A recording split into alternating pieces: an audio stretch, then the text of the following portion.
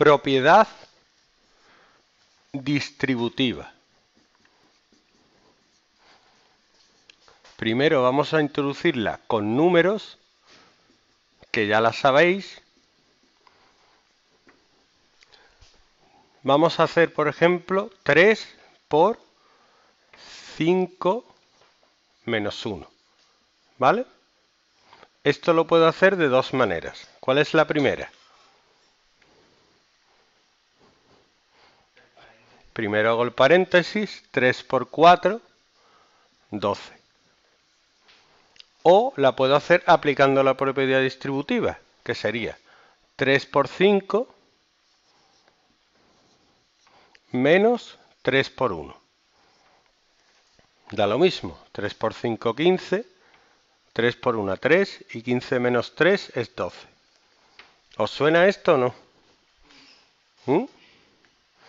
Pero esto, cuando hay letras, esto no lo puedo hacer, porque aquí hay una letra y como no sé lo que vale la letra, no puedo operarla. Por ejemplo, 3 por x menos 1. Entonces no tengo más remedio que aplicar la propiedad distributiva, que es multiplicar lo que os he dicho. José Luis se encuentra con Sara Carbonero y con Beyoncé. ¿Qué hace José Luis? Primero se lía con Sara Carbonero y luego se lía con Beyoncé. Eso es así. ¿Vale? Entonces esto sería 3 por x, que es 3x menos 3 por 1, que es 3. ¿Vale? Bien, sigo. Mm, x por 2x cuadrado menos 4x. Primero tendría que hacer x por 2x cuadrado, que es 2x cubo, menos x por 4x, que es 4x cuadrado. A ver, ¿sí? Vale. Más difícil todavía. ¿Y si pongo un número negativo? Chan, chan. ¿Qué hago?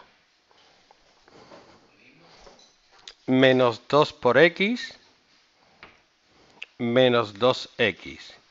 Y menos 2 por menos 3, ¿cuánto es?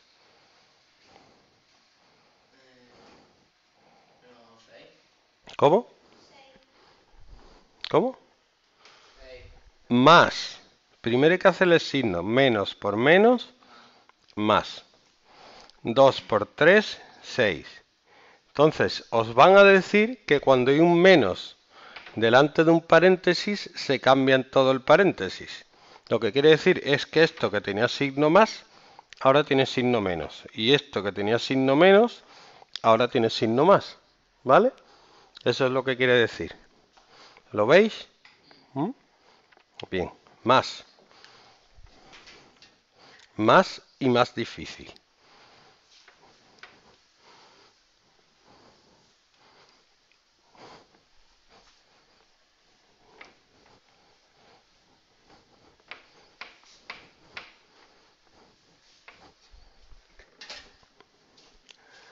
Dos x por 3 menos 4x cuadrado.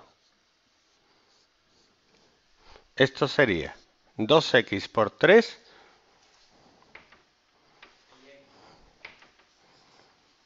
menos, ¿qué pongo ahora?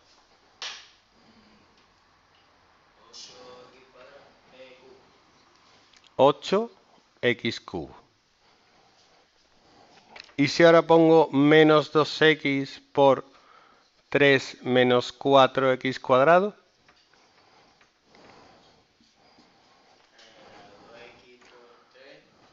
¿Cuánto es?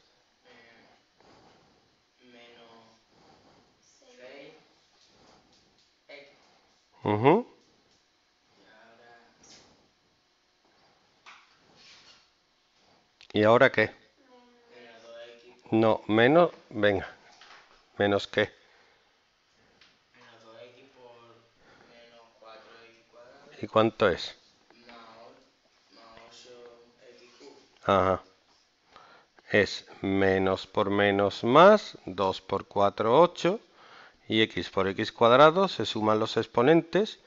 Aquí hay un 1, aunque no se vea. 1 más 2, 3. ¿Vale? Ya podéis hacer ese ejercicio.